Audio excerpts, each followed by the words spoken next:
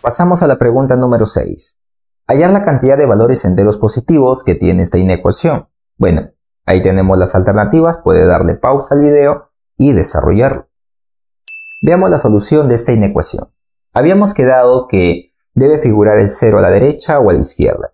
Y les aconsejé que mayormente dejen el 0 a la derecha, una mejor apreciación, un mejor cálculo y seguir también los pasos que les indiqué. Entonces todo lo que ves a la derecha de la desigualdad, pásalo a la izquierda, ¿ok? Acá, pasa, pásalo.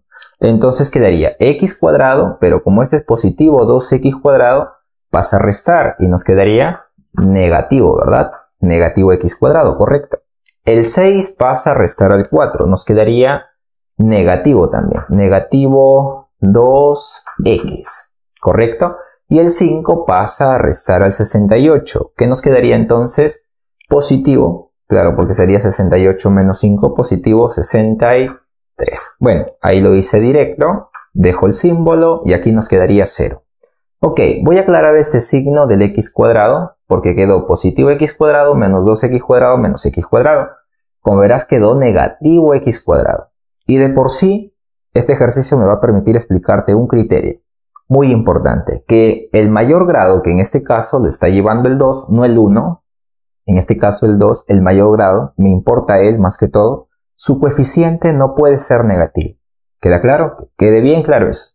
Que el mayor grado, que en este caso es 2, eh, su coeficiente no puede ser negativo. O sea, el numerito que está delante se ve como menos 1, no puede ser negativo.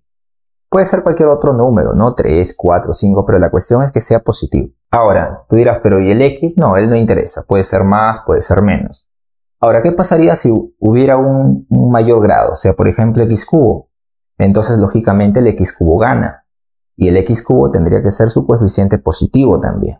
¿Quedó claro? Entonces, aquí va a depender mucho del que tiene mayor exponente. Como estamos en el tema de inecuación cuadrática, el x cuadrado no puede ser su coeficiente negativo. Siempre, siempre. ¿Queda claro? Y puede ser para otros tipos de exponentes que acabé de decir, ¿no? Entonces te voy a explicar un trucazo. Toda esta inecuación, toda, toda, toda, incluso sobrepasando al cero, lo vas a multiplicar por negativo. Pero para no confundirnos, te puedo explicar acá un trucazo también, de que todas las cantidades que ves negativas las cambias a positivas y todas las positivas las cambias a negativas. Nada más. Entonces, como este es negativo x cuadrado, lo cambias a positivo. Listo. Como este es negativo 2x, lo cambias a positivo 2x. Listo. Como este es positivo 63, lo cambias a negativo 63. Se acabó. El 0, como no tiene signo, se mantiene como 0. Él no va a pasar nada. Pero lo que sí va a cambiar es el sentido del símbolo. Mira, puedes colocarle el ojito al partner. Él estaba mirando a X, ¿no? Estaba mirando a la izquierda, pero ahora va a mirar hacia la derecha. Queda claro, no cambió de cerrado, no cambió su esencia. Él es cerrado, se mantiene como cerrado, no cambia de cerrado abierto, ¿ah? Solamente cambia el sentido. De lo que está mirando a la izquierda, ahora mira hacia la derecha. Listo. Ahora sí, ya quedó tu ecuación cuadrática positiva. Ahora sí, vamos a analizarla por cualquier método, ya sea aspa simple, factor común, diferencia de cuadrados, lo que, lo que se pueda aplicar. Entonces acá veo el aspa simple. Sería xx el 63 podría ser el 9 y el 7, ¿correcto? Eh, como es un menos 63, eh, uno de ellos va a ser positivo, el otro negativo, pero como veo, acá es positivo 2. Por lo tanto, el positivo darle al mayor vendría a ser 9 y negativo vendría a ser 7. Y efectivamente, su resta me va a salir positivo 2. Sí, sí sale. Entonces trasladamos los datos de manera horizontal, que vendría a ser x más 9 por x menos 7. Y bajo la desigualdad. Bueno, así quedaría. Y está. Nada más. Ahora sí, vamos a analizar aquí recién por el método que ya sabemos que de inecuaciones, vamos a analizar el símbolo. ¿Ok? Dos resúmenes. El primero si es abierto o es, cerrado, ¿no? Entonces acá sería cerradito significa que es igual a igual a cero. Y esto también representaría, bueno, se representa como un punto lleno, ¿no? Queda, eso ya lo hemos visto.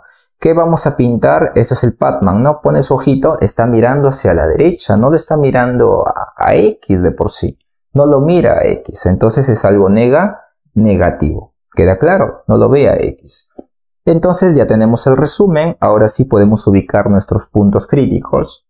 El X más 9 lo igualamos a 0 y x menos 7 también le igualamos a 0, quedándonos x igual a negativo 9, porque el 9 pasa hacia la derecha, bajo el x, bajo la igualdad, el 7 negativo pasa como positivo, teniendo así los dos puntos críticos.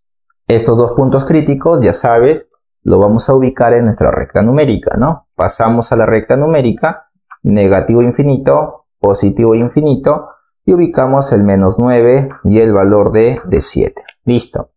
Eh, los puntos deben ser cerrados, entonces acá un puntito lleno, acá otro puntito lleno, y ubicamos zonas, ¿no? Primera, segunda y tercera zona. Signo más, signo menos, signo más. Listo. ¿Qué vamos a pintar? Aquí tienes el resumen. Pinta la zona negativa. Se acabó. Conjunto solución. Iría cerrado en menos 9, punto y coma hasta 7 cerrado también. Esa sería la respuesta. Pero vamos a la pregunta, ¿no? Hallar la cantidad de valores enteros positivos que puede tomar. Entonces, descartamos el menos 9, descartamos el menos 8, el menos 7, menos 6, menos 5, menos 4, menos 3, menos 2, menos 1. Pero como dice enteros positivos, también hay que descartar al 0, porque el 0 es neutro, no tiene signo. Entonces empezaríamos desde el 1, el 2, el 3, el 4, el 5, el 6 y el 7, que son los únicos enteros positivos que están dentro de este intervalo, aquí, dentro, ¿no?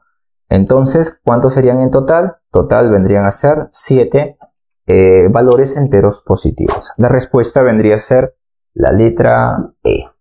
Nada más. Pasamos hacia la pregunta número 7.